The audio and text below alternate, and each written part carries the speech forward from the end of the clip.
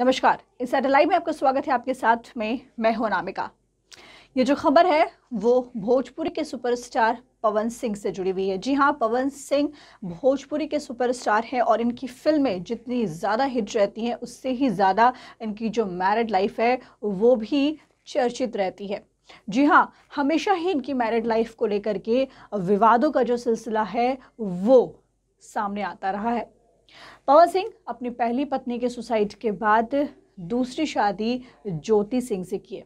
जी हाँ जो खबरें आई थी पवन सिंह की पहली पत्नी के बारे में, वो ये खबरें थी कि पवन सिंह की पहली पत्नी ने सुसाइड इसलिए कर लिया क्योंकि पवन सिंह अपने काम में काफ़ी ज़्यादा व्यस्त रहते थे और बिल्कुल भी समय अपनी पत्नी को नहीं दे पाते थे, जिसके कारण उनकी पहली पत्नी ने सुसाइड कर लिया था। और इसके बाद पवन सिंह ने 2018 में ज्योति सिंह से दूसरी शादी की, लेकिन ये शादी ज़्यादा दिन नहीं टिक पाई। महज चार साल के बाद ही इसको कोर्ट तक पहुँचना पड़ा तलाक केस के लिए। जी हाँ दोनों ने तलाक केस फ़ाइल की। पवन सिंह ने तलाक के लिए आरा के फैमिली कोर्ट में अर्जी लगाई थी। 26 मई 2022 को पवन और उनकी पत्नी ज्योति सिंह दोनों कोर्ट पहुँचे थे।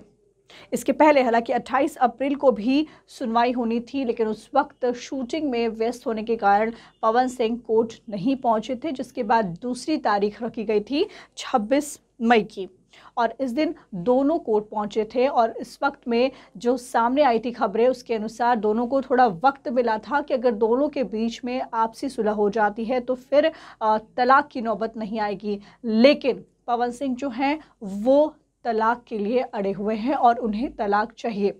इसके बाद आपको बता दें, पवन सिंह की जो पत्नी है, दूसरी पत्नी ज्योति सिंह ने पवन के ऊपर कई बहुत सारे आरोप लगाए हैं। ज्योति सिंह ने कहा कि पवन सिंह से जब से उनकी शादी हुई है, उसके कुछ दिन बाद से ही वो उनके साथ में मारपीट करते हैं, गाली गलौज करते हैं और काफ़ी ज़्यादा प्रताड़ित करते हैं। इतने पर ही ज्योति नहीं रुकी, बल्कि उन्होंने ये भी कहा कि दो बार उनका मिसकैरेज करवाया है पवन सिंह ने, यानी कि दो बार गर्भपात करवाया है पवन ने। और इसके बाद बात काफ़ी ज़्यादा बढ़ती चली गई और दोनों के बीच दूरियाँ जो है, वो काफ़ी ज़्यादा होने लगी। पहली जो पत्नी पवन सिंह की थी नीलम, उन्होंने सुसाइड किया था क्योंकि ये खबरें जो आई थी कि क्योंकि पवन सिंह जो है, वो बिल्कुल भी समय नहीं दे पाते थे।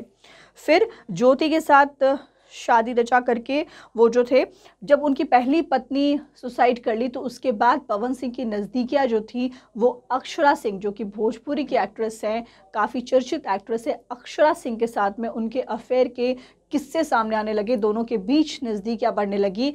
लेकिन इन सब के बाद सबको लगने लगा कि शायद पवन सिंह जो है, वो अक्षरा सिंह से शादी कर लेंगे। लेकिन ज्योति सिंह से शादी करके पवन ने सबको सरप्राइज़ कर दिया।